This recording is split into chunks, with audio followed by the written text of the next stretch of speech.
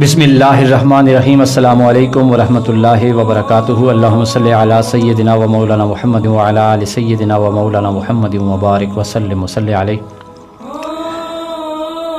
मोहतरम नाजरीन, हम जब अपने से बड़ों का अदब करते हैं तो क्या तब्दीली मारज वजूद में आती है? सवाल समझ आया?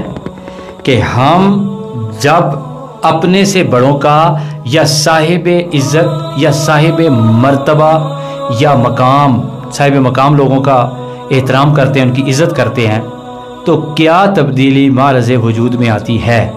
क्या हमारी इज़्ज़त करने से उनकी इज़्ज़त बढ़ती है? तो इसका जवाब यह है कि हम अगर किसी की इज़्ज़त करेंगे, जो बंदा साहिब इज़्ज़त है तो तब भी उसकी इज़्ज़त में कोई फ़र्क नहीं आता।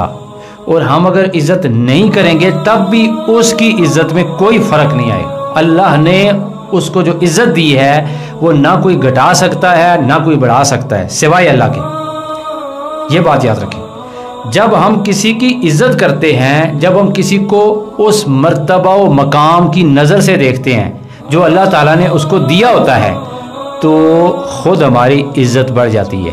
ये तब्दीली आती है। ये चेंज आती है। कि हम किसी की इज़्ज़त करेंगे तो उसके बदले में अल्लाह हमें अपनी तरफ़ से इज़्ज़त अता फरमाएगा।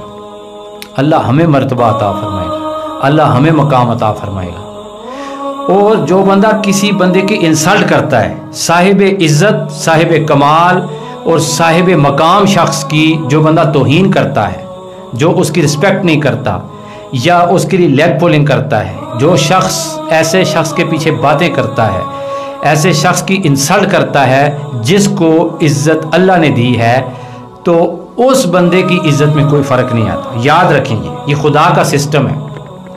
कभी भी उसके उसके मरतबे में फ़र्क नहीं आएगा। कभी उसकी इज़्ज़त में फ़र्क नहीं आएगा। कभी उसके मकाम पे फ़र्क नहीं आएगा। अल्लाह उसे और मज़ीद बुलंदियाँ अता फरमाएगा। और इंसान जब किसी की रिस्पेक्ट नहीं करता बेदबी करता है तो ख़ुद इंसान पे बड़ा फ़र्क आता है। अल्लाह उसको जलील और रसवा करता है। हम किसी की इज़्ज़त करेंगे, हमारी इज़्ज़त बढ़ेगी। हम किसी की रिस्पेक्ट नहीं करेंगे, हम बेज़त होंगे, हम जलील होंगे, हम पस्तियों में पड़ेंगे। ये याद रखें।